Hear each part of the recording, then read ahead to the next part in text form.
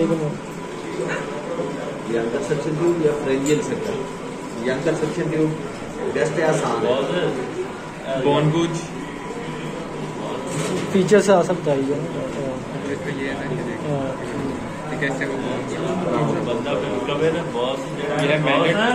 Mallet या hammer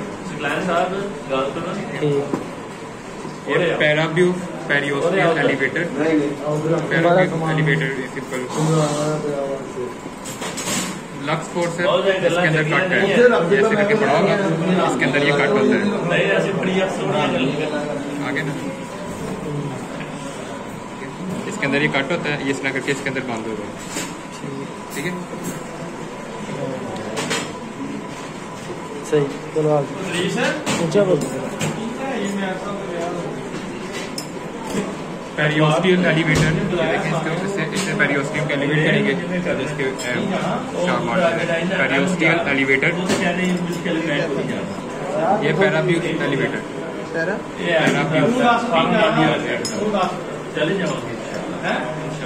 ये भी देखिए, यहाँ पे भी इसमें कट है।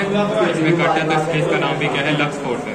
इसमें भी कट होता है, उसके अंदर पूरा वो अंदर जाता है, ये होता है लक्स फोर्स ये टिलीज लेजर ड्रेसिंग या टिलीज ड्रेसिंग फोर्स है। या सिंपल टेली से टिलीज ये लेजर ड्रेसिंग में यूज़ होता है।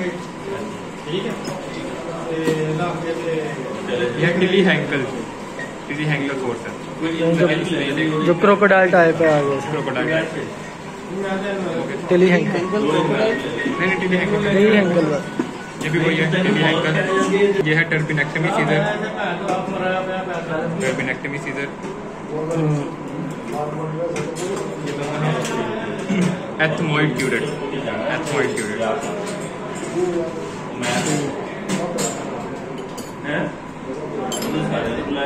यह कर्व आर्टरी फोर्स है। यह आगे से जाके आगे कर्व है। और इस, इसको ऑडिटर क्वालिटी को डिफ्रेंशिएट करने के लिए होता है कि इसमें है स्ट्रेट लाइन ठीक है? और जो होती है ना निडल आर्ट निडल होल्डिंग फोर्स है।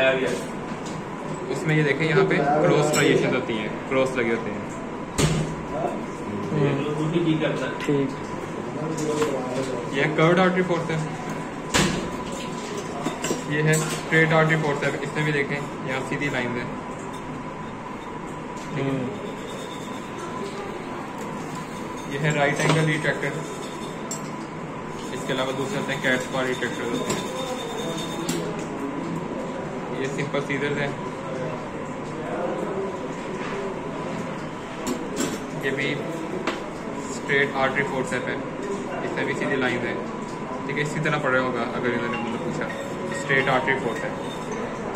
ये दोनों फोर्सेस हैं। तो एक में ऊपर तीत तुत कोई भी नहीं है। यहाँ पे देखें हम कोई तुत नहीं है। तो ये है स्ट्रेट फोर्स है। और यह तुत फोर्स है। इसमें ये देखें यहाँ पे तुत से बने हुए हैं। ठीक है? प्लेन फोर्स है और तुत ये भी आर्टरी फोर्स है।